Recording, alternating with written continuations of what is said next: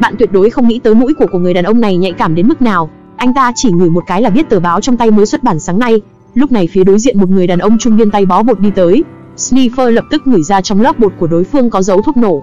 Sau đó bảo tiếp viên gọi cơ trưởng đến, nói trên máy bay có một thành phần khủng bố đem theo bom. Cơ trưởng nghi ngờ hỏi người đàn ông làm sao mà biết. Sniffer nói là mình ngửi ra. Cơ trưởng vẻ mặt không tin, vì để chứng minh điều mình nói đều là sự thật. Anh nói việc cơ trưởng nửa tiếng trước đã làm điều lén lút trong buồng lái máy bay với cô tiếp viên trước mặt, hơn nữa còn làm tận hai lần. Nhìn vẻ mặt hai người, lúc này chắc chắn là tin rồi. Về đến nhà, Sniffer nhận được cuộc gọi của vợ, nói con trai hút phẩm độc hại trong trường bị bắt rồi. Sau đó, Sniffer chạy tới trường học. Giáo viên chủ nhiệm nói con trai anh và ba học sinh khác hút thuốc trong nhà kho của trường. Hơn nữa còn lấy ra chứng cứ liên quan. Sniffer cầm lấy chứng cứ nhẹ nhàng ngửi, nói thứ này không phải của con trai anh. Tiếp theo anh dựa theo hướng của mùi hương tìm tới phòng thí nghiệm của trường, dừng lại bên cạnh một cậu nhóc, nhặt cặp sách dưới đất lên hỏi cậu nhóc đây có phải của cậu không? Cậu nhóc ngậm miệng không trả lời. Sniffer đổ hết đồ bên trong lên bàn. Sniffer nói cậu học sinh này chính là con chim độc trong trường. Sau đó phóng khoáng rời đi. Chủ nhiệm trực tiếp đứng ngây ra tại chỗ. Sau đó, Sniffer đến hiện trường một vụ án, chỉ đứng ngửi một phát liền đoán định đây là một vụ sát hại. Bởi vì trong cà phê của nạn nhân bị đổ vào digoxin, đó là một loại thuốc độc chỉ cần 0,1 gam là có thể dẫn đến tử vong, và nói hung thủ là một người đàn ông khoảng 50 tuổi đang cai thuốc. Trên cánh tay phải còn dán miếng dán nicotine, mà phát hiện tiếp theo lại còn khiến người ta kinh ngạc hơn.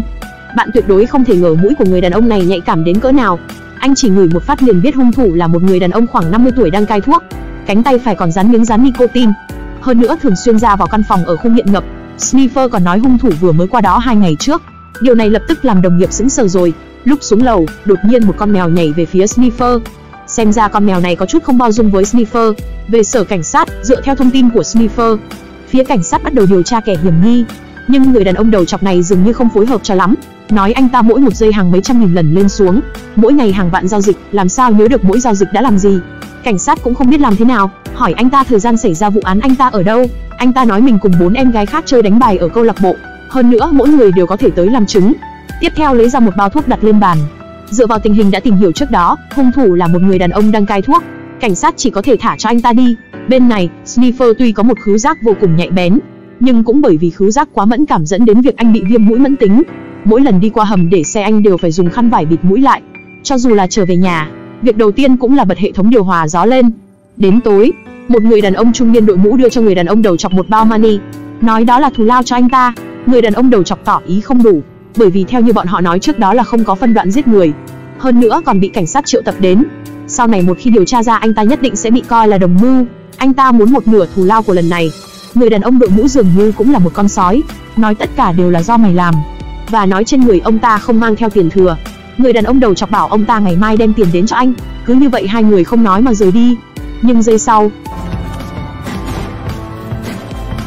Đây tuyệt đối là người đàn ông có khứu giác nhạy bén nhất bạn từng gặp. Anh chỉ ngửi nhẹ một cái liền nói với đồng nghiệp em gái, ở cuộc hẹn tối qua đang vào kỳ dụng chứng và chúc mừng anh sắp trở thành bố. Mà đây chỉ là những thao tác cơ bản của anh ta. Buổi tối hôm đó, người đàn ông đầu chọc đột nhiên bị tử vong. Phía cảnh sát vì muốn nhanh chóng điều tra ra chân tướng, mời Sniffer tới để trợ giúp phá án. Mà anh chỉ mất vẻn vẹn có 5 phút, liền nói hung thủ lần này và lần trước là cùng một người.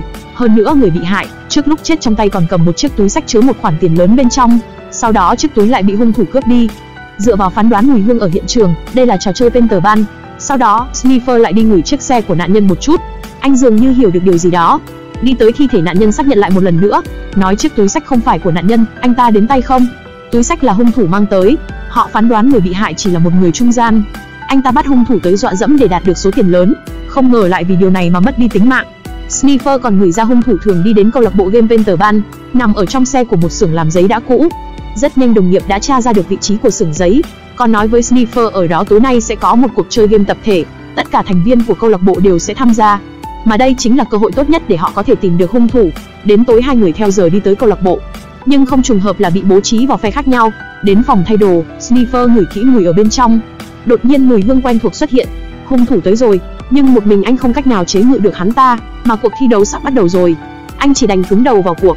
Trong lúc chơi, hung thủ dường như phát giác ra điều gì, lựa chọn từ bỏ rời khỏi đây trước. Sniffer vội vàng gọi đồng nghiệp đuổi theo. Cùng lúc đó, một tên gián điệp thần bí đang nhắm vào cái gì đó trên sân thượng tòa nhà. Chỉ nghe thấy súng nổ một phát, người đàn ông ngã xuống.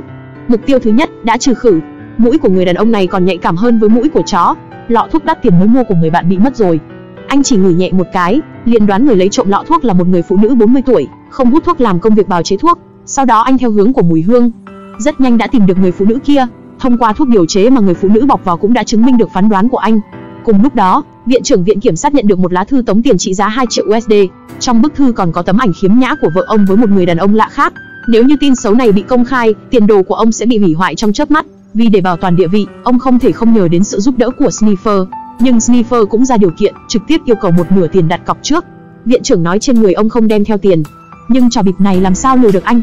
Anh chỉ ngửi một cái,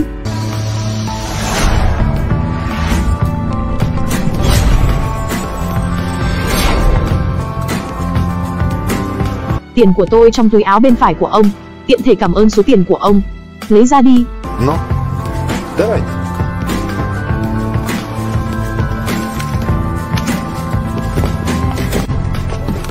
Sau đó anh cầm tấm ảnh trong bức thư lên ngửi, kết hợp với mùi quần áo trong nhà. Nói vợ viện trưởng 35 tuổi, nhuộm tóc vàng, thích hút thuốc có mùi táo. Mà điều quan trọng nhất là bức thư tống tiền này chính là của vợ ông để lại. Viện trưởng nghe xong vẻ mặt không hiểu. Ông không tin được tất cả chuyện này lại là vợ mình làm. Vấn đề này tôi không cách nào trả lời được, tranh chấp hôn nhân không phải là sở trường của tôi.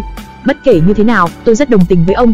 Thuận tiện nhân lúc trước khi ông phân chia tài sản, yêu cầu ông hãy trả tiền của tôi trước. Bên này vừa kết thúc, Sniffer lại bị đồng nghiệp gọi đến hiện trường vụ bắn súng. Hai người đi lên lầu thượng nơi hung thủ đã đứng.